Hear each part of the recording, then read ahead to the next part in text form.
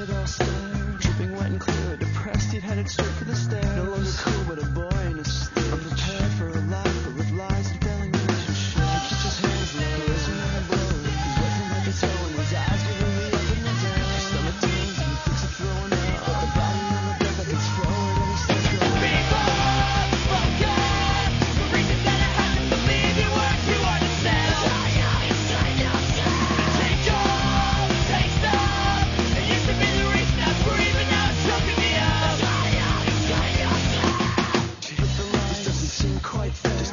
everything he knows from his friends. he doesn't feel so prepared.